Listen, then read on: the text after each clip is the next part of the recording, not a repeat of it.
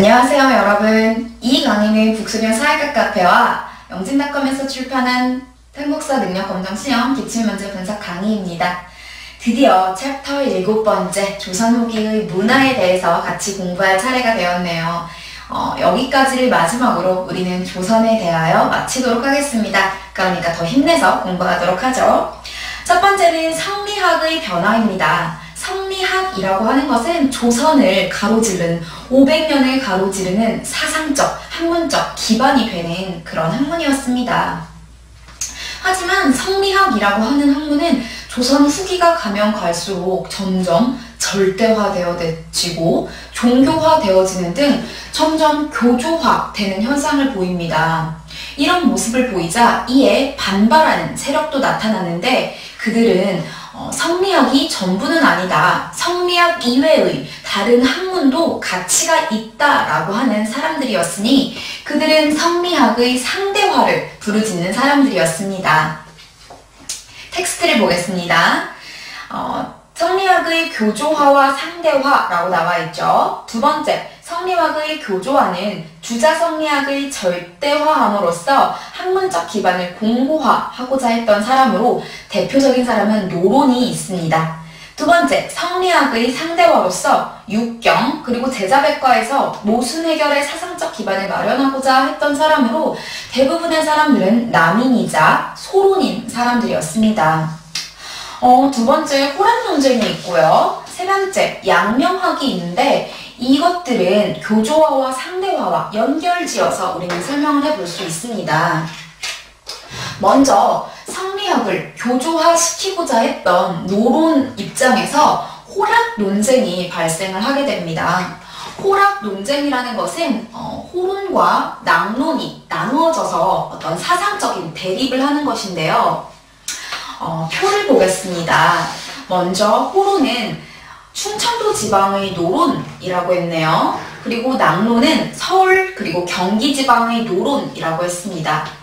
호론들은요, 충청도 지방이었기 때문에 조금 더 보수적인 입장을 취했어요. 반대로 낙론은 서울 지방의 노론이었기 때문에 청 문물 그리고 서양 문물을 접한 사람들이었기 때문에 조금 더 진보적이고 깬 사상을 가지고 있었던 사람들입니다. 인물성 동의론에 대해서 보도록 하겠습니다.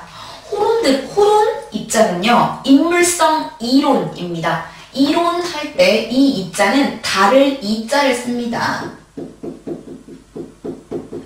달을 이자를 써서 인, 인간과 물, 물건은 다르다. 즉, 모든 것에는 차별성이 존재한다를 주장하는 사람들이었어요. 즉, 나는 양반이다. 너희 상민, 노비와 같을 수 없다를 주장하는 사람들이었다면, 낙로는 동물, 민물성 동론을 주장하는 사람이에요. 동, 같을 동자죠. 그래서 인간과 물건은 같다. 확대 해석하면 양반과 상민은 다르지 않다. 똑같이 어, 차별성을 없애야 된다. 또는 중국 명나라와 오랑캐가 세운 청나라는 같다. 그렇기 때문에 청나라의 발달된 학문과 물건, 사상은 받아들여야 된다 라는 사람들이었어요. 조금 더 진보적이고 어떤 개화적인 사상을 가지고 있었던 입장이죠. 이렇게 성리학 내부에서도 사상이 갈라져서 갈등을 빚고 있던 반면에 어떤 사람들은 성리학 자체를 떠나서 어, 생각을 넓혀가는 사람들이 있었어요. 이들은 성리학을 떠나서 양명학을 주장했습니다. 세 번째, 양명학 보도록 하겠습니다. 성리학의 교조화 그리고 형식화를 비판했습니다. 그리고 이들은 이론이 아닌 실천성을 강조했고요. 17세기 후반 소론 학자들에 의해서 본격적으로 수용이 되게 됩니다. 여기다가는 별표를 하나 치도록 하겠습니다. 어, 양명학은 어떤 학파에 의해서 발달이 되냐면요. 강화학파에 의해서 발달이 되어집니다.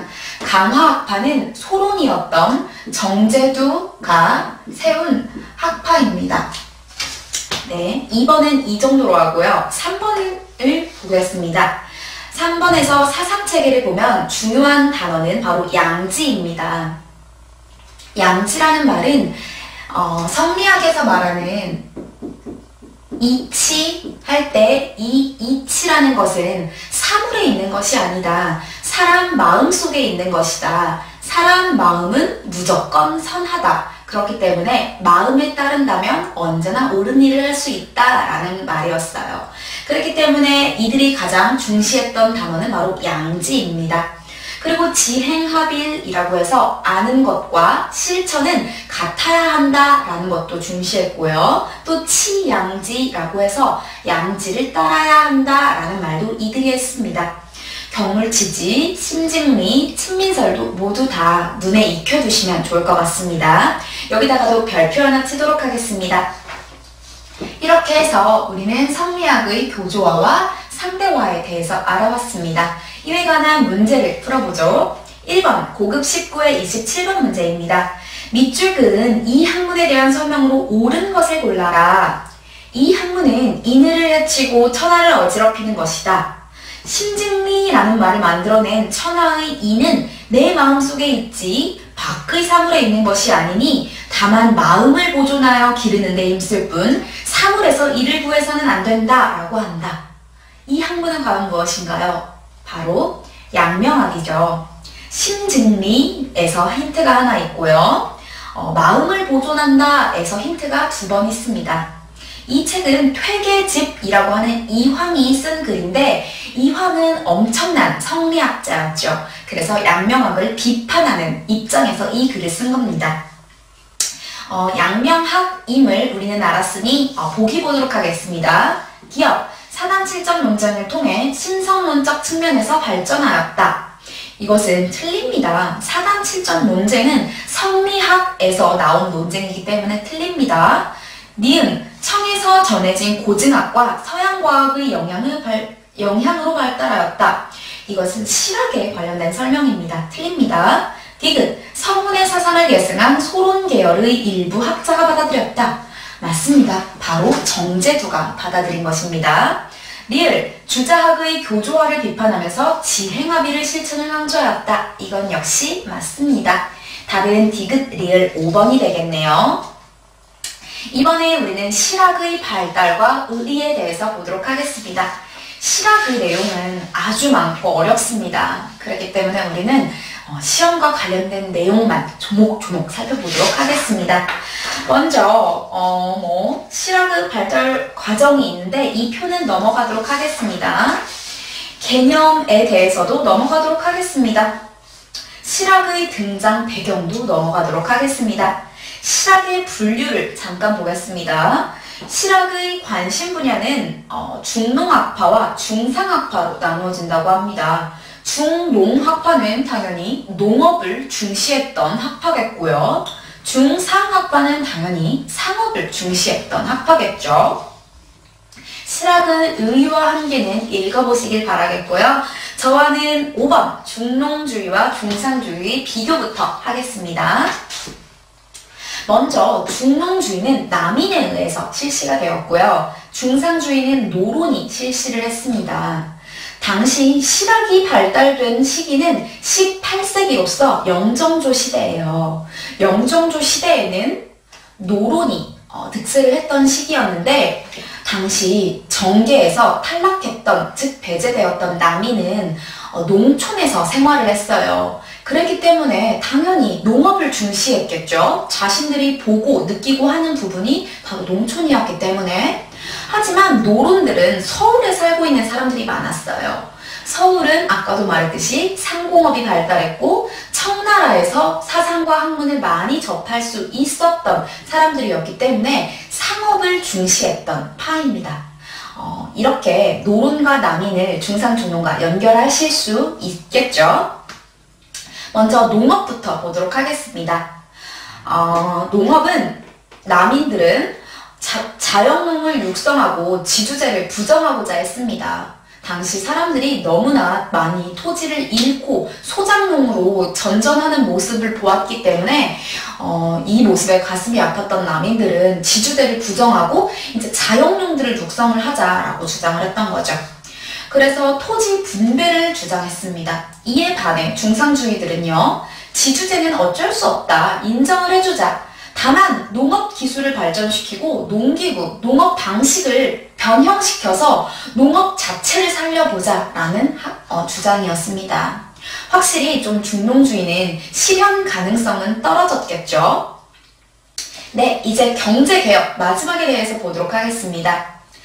어, 경제 개혁에 대해서 중농학파들은 상공업 발달 그리고 화폐 경제에 대해 부정적으로 인식을 했어요. 그리고 어, 시장 상인의 독점적 영업권을 폐지하기를 권했고 근검 절약, 생산 강조, 자급 자족을 강조하는 학파였습니다. 이에 반해 중상주의는요. 상공업의 발달 그리고 화폐 경제를 긍정적으로 인식을 했다고 합니다. 그리고 소비를 강조하고 생산을 강조하고 대외 통상을 강조하는 그런 모습을 보입니다. 이렇게 중농주의와 중상주의를 비교하실 수 있는 것이 키포인트입니다. 여섯 번째 농업 중심의 개혁론에 대해서 보도록 하겠습니다. 먼저는 유형원입니다. 유형원 하면 반개 수록을 쓴 저자인데요. 반개 수록에는 어떤 토지개혁 주장이 나오냐면 바로 균전론이라고 하는 주장이 나옵니다. 이 균자는 어, 균등하다 할 때 균자인데요. 토지를 모든 농민에게 균등하게 나누어 주어야 한다라는 생각이었어요. 상민에게는 일반 농민들에게는 하나씩만 나눠주자. 하지만 그 지위가 높은 양반들에게는 어, 두 개씩 나누어 주자. 라는 의미였어요. 균등하게 배분은 해주되 그 사람들 산농공상이라는 그 직위에 따라서 조금씩은 달리 분배를 해주자라는 의미였습니다. 텍스트 보겠습니다. 균전론을 보면은 토지를 규구, 국유화한 다음에 분배를 해주자. 하지만 분배해주는 데에는 산업공상에 차등이 있게 해주자. 라는 것이었습니다. 이게 유형원에 있어서 키포인트입니다. 두 번째, 우리는 이익으로 넘어가도록 하겠습니다. 이익은 여러 저서를 남겼는데 그 저서를 모두 모아서 성호사설이라고 합니다. 성호사설 중요합니다. 성호사설에서는요, 조선과 중국 문화를 소개하고 또 비판할 것은 비판했다고 합니다. 그리고 성호사설이라는 여러 모음집 안에 곽우록이라는 책이 있는데요. 이 곽우록이라는 책에서는 토지 제도에 대한 어떤 개혁안이 있었다고 합니다. 그 개혁안은 바로 한전론이라고 하는 것입니다. 역시나 그림을 그려보면은 이만큼의 토지 중에 어느 일정량을 영업전이라고 하자. 좀 확대해 드릴게요. 네. 일정량의 토지를 영업전이라고 하자. 이 영업전은 팔지 못하게 하자. 그럼으로써 농민들이 어, 몰락하는 것을 막자라는 것이었어요. 얼마만큼의 토지를 팔지 못하게 하자라는 게 바로 이익의 한전론입니다. 네. 어, 그러면 어, 육종에 대해서 보도록 하겠습니다. 육종이라는 것은 여섯 개의 종 먹는 것들이라는 것인데 양반제도, 노비제도, 과거제도, 사치, 미신, 미신숭배 뭐 이런 것들이 여섯 개의 종 먹는 것들이라고 주장을 했다고 합니다. 또다시 중요한 것은 소농보호입니다. 패전론에 동그라미 치고 발표 하나 치도록 하겠습니다. 이 이익이라는 사람은 중농학파로서 화폐가 많이 유통되는 것을 싫어했어요. 그랬기 때문에 화폐, 즉 동전을 폐지해버리자라고 하는 패전론을 주장했다고 합니다. 세 번째, 정약용에 대해서 보도록 하겠습니다. 이 정약용이라는 분인은 아주 아주 여러 권의 책을 쓰죠. 총 500여 권의 책을 썼다고 하는데 그 책들을 모아놓은 모음집이 바로 여유당전서라고 하는 것입니다. 마가외통, 뭐 아방강역고 이런 것들을 많이 쓰십니다. 그리고 실학을 집대성 한다고 합니다. 그리고 뭐 개혁사상도 있고요. 기해론에서는 거중기 그리고 배다리 설치를 주장합니다. 여기다가 밑줄 하나 치도록 하겠습니다. 거중기라는 어떤 기구를 만들어서 쉽게 수완섬을 짓도록 합니다. 그리고 배다리를 만들어서 수원 행차를 하는데 어, 유리하도록 하는 거예요. 배다리라고 하는 것은 배들을 연결을 해서 다리를 만드는 겁니다. 네, 3론을 보도록 하겠습니다. 원론, 탕론, 전론이 있는데 여기서 중요한 것은 어, 원론 그리고 탕론입니다. 전론도 중요합니다. 다 보도록 하겠습니다. 원론에서는 통치자는 백성을 위해 존재한다. 그리고 왕의 권력은 백성들로부터 나오는 것이다. 여기다가 밑줄 하나 치겠습니다. 왕은 백성 위에서 군림하는 존재가 아니다. 왕은 백성을 위해주는 존재이다. 라는 말을 드디어 하게 됩니다. 정말 어, 깨어있는 생각을 가지셨던 분입니다. 탕론에서는 천자는 천명의 대행자이다. 그리고 천명은 민심에서 나온다. 즉 원론과 탕론은 같은 어, 의미를 지닌 책이라고 볼 수 있습니다. 전론에서는 여전제라는 토지개혁 사상을 어, 주장합니다. 역시나 또 토지개혁이니 여기서 보아야겠죠. 정약용은 여전제를 주장을 하는데 여전제라는 것은 이만큼의 토지를 너희 마을에 주겠다. 너희 마을이 공동 소유를 하고 공동 경작을 해라 라고 한 거였어요. 공동 경작이라고 하고 막 한다면 너무나 공산주의적인 색깔이었죠. 하지만 그게 아니에요. 어, 대부분 30호 정도로 이루어졌는데 각각이 노동한 만큼만 생산물을 분배해 주겠다. 노동한 만큼 생산물을 가져가라 라고 하는 어떤 아주 혁신적인 생각이었다고 합니다. 하지만 이것이 현실 불가능하다는 것을 깨달으셨어요. 그래서 경세요표라고 하는 책에서는 정전론이라고 하는 토지개혁 사상을 주장을 합니다. 이것은 무엇이냐면요. 하나의 토지를 우물 정자로 나눕니다. 그래서 이거를 아홉 개의 가구가 어, 하는데 각각의 집마다 하나의 토지씩을 가집니다. 아니겠네요. 여덟 집이겠네요. 여덟 집이 가지는데 이 가운데 있는 땅은 공동으로 경작해라. 그래서 이거를 세금으로 납부해라 라는 의미였어요. 어, 이렇게 해서 우리는 토지 개혁에 대해서 살펴보았습니다. 네, 이제는 일곱 번째 상고목 중심의 개혁론에 대해서 보도록 하겠습니다. 먼저 유수원이라는 분은 우서라는 책을 썼다고 합니다. 여기서 중요한 것은 산농공상이라고 하는 신분적인 차별을 없애자 산업공상이라고 하는 것은 높고 낮음이 아닌 직업이 다른 것이다 라는 말을 드디어 하게 됩니다. 그게 중요하고요. 두 번째, 홍대용에 대해서 보도록 하겠습니다. 여기다가는 별표 하나 아닌 두 개를 치도록 하겠습니다. 어, 임하경륜이라고 하는 책에서는요, 사회개혁을 보겠습니다. 선비의 생산을 참여를 독려합니다. 선비, 한마디로 양반들도 생산에 참여하라. 그래야 농업 생산이 훨씬 더 발달할 것이 아니냐 라고 하면서 양반을 질타하는 말을 하게 됩니다. 두 번째, 의상문답에 대해서 보도록 하겠습니다. 여기서는 서양의 과학사상을 소개했고요. 지구가 1일 1주한다. 하루에 한 바퀴씩 돈다고 하는 자전설을 설명을 합니다. 확실히 서양의 책들을 많이 읽고 그것들을 받아들여서 발달된 그런 사상을 가지셨음을 알 수 있습니다. 그리고 우주 무한론을 말, 어, 말합니다. 세상의 전부는 지구가 아니야. 이것 외에도 여러 행성들이 있고 그곳에는 외계인이 살 거야 라는 말을 여기서 한다고 하십니다. 네, 주해 수용에 대해 보도록 하겠습니다. 여기서는 수학의 최적법, 삼각법 등을 연구한다고 합니다. 홍대용은 아주 잘 나오니까 어, 꼭 기억을 해두셔야 됩니다. 세 번째, 박지원에 대해서 보도록 하겠습니다. 박지원은 여기 한 열하일기가 있네요.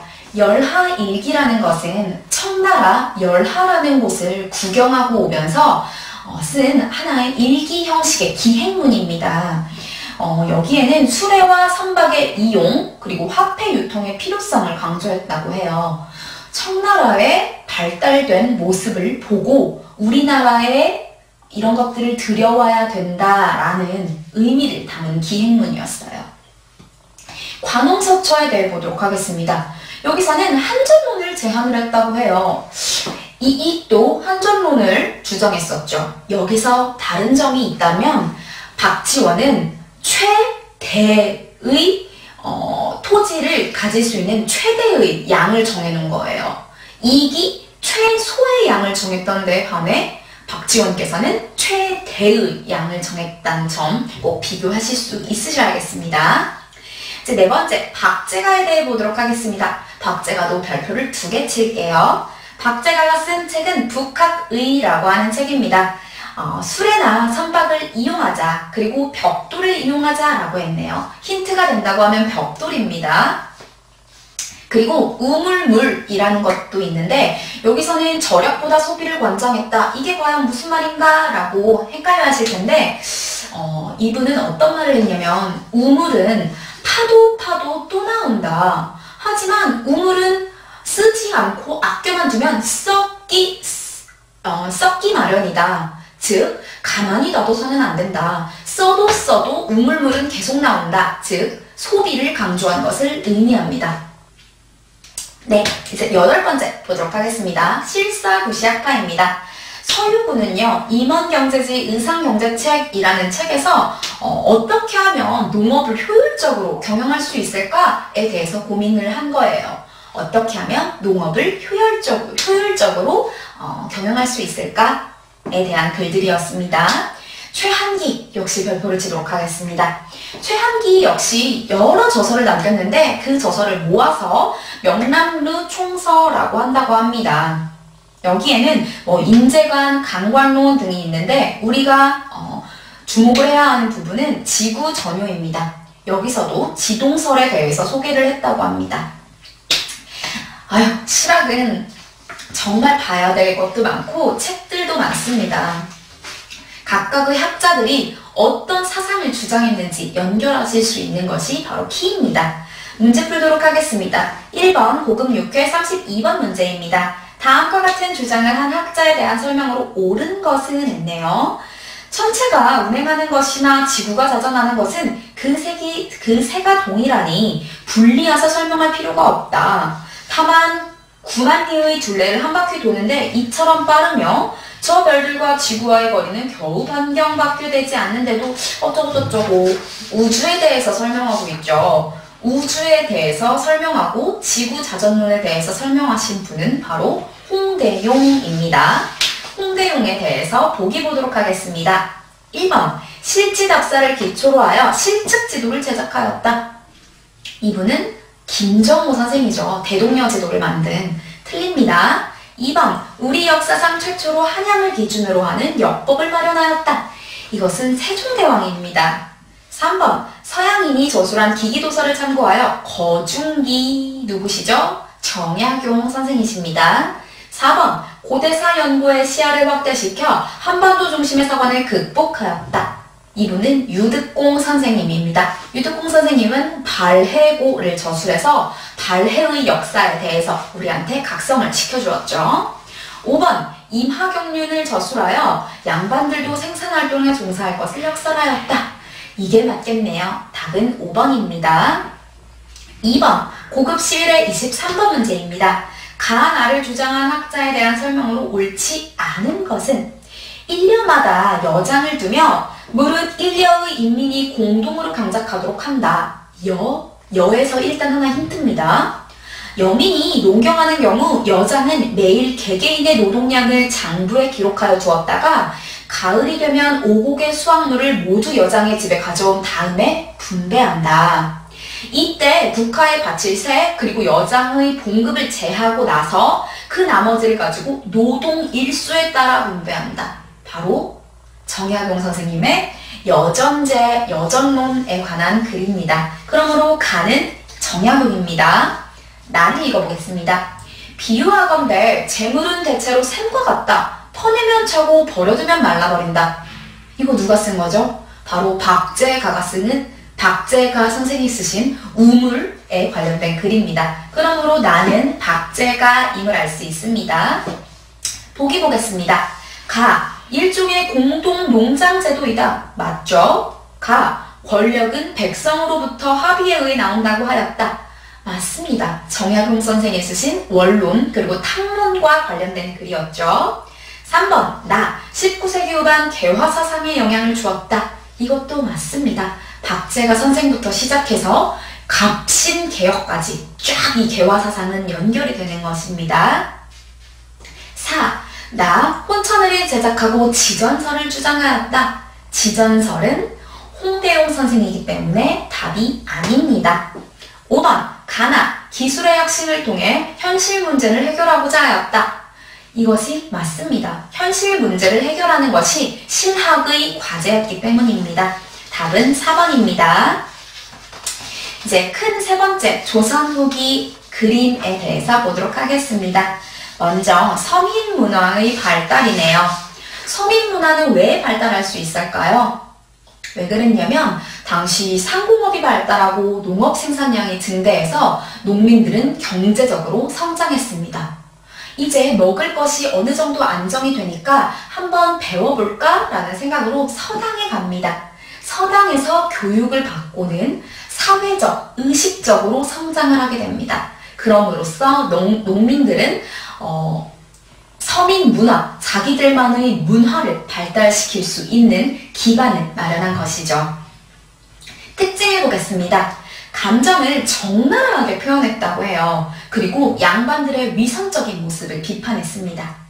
발전을 보겠습니다. 한글 소설, 판소리, 탈춤, 회화, 뭐 이런 것들, 음악과 무용 이런 것들이 있었다고 해요. 그러면 이 각각에 대해서 구체적으로 보겠습니다. 판소리입니다.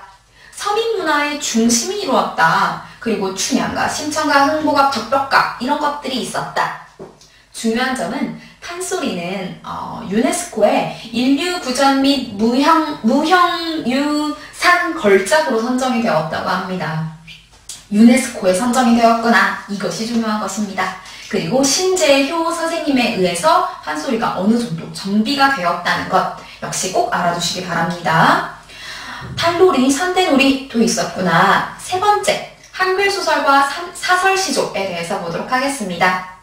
이제 양반들이 한자로서 글을 썼다면 서민들은 이에 반해 한글로서 소설을 쓰게 되는 겁니다.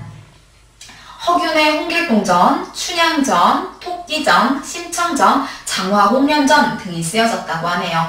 사설 시조 역시 쓰여졌으니 어, 서민들의 감정을 솔직하게 표현했던 어떤 시조였다라는 것을 알 수 있습니다. 한문학이라고 하는 것은 말 그대로 한문학, 한자로 쓰여진 한문입니다. 당연히 누구에 의해 쓰여졌겠나요? 양반에 의해서 쓰여졌겠죠. 근데 여기서 주목할 점은 양반들 역시 당시의 사회 부조리에 대해서 비판했으며 양반들의 세태에 대해서 비판했다는 것이 여기서 키입니다. 정약용 선생 양반이십니다. 삼정의 문란을 폭로하는 한 시를 쓰셨다고 합니다. 박지원 선생 역시 엄청난 양반이십니다. 하지만 양반전, 호질, 허생전, 민홍전 등 양반의 사회 부조리한 모습들을 꼬집는 글들을 쓰셨다고 합니다. 그리고 뭐 문체반정, 조선 후기 건축은 빠르게 넘어가도록 하겠습니다. 우리는 여섯 번째 회화에 대해서 보도록 하겠습니다. 먼저 18세기에는요 진경 산수화가 발달을 했다고 해요. 우리 조선 전기 때 이것에 대해서 공부를 했는데 어, 진경 산수화라고 하는 것은 조선 자체에서 발달의 어떤 절정기를 이룬 그런 그림 화법입니다. 이것은 신윤복 선생님께서 시작을 하여서 김홍도 선생님 때 엄청 절정기에 이르렀던 그런 화풍입니다. 어, 또 니은을 보면 풍속화가 유행을 했다고 하네요. 어, 뭐, 당시 사람들의 생활 전경, 그리고 일상적인 모습을 생동감 있게 표현을 했다고 하고, 대표적인 사람으로는 조영석, 김홍도, 김득신, 신윤복, 강세황 등이 있다고 하네요. 그림들을 보면은 확실히 일상 생활적인 모습을 어, 그림 모습, 그렸음을 알 수 있죠.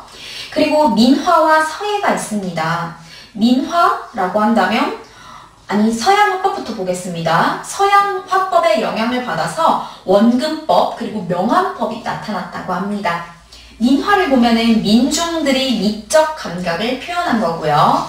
해, 달, 나무, 꽃, 동물, 물고기 즉 일상에서 쉽게 볼 수 있는 것들이 어, 소재가 되었다고 합니다.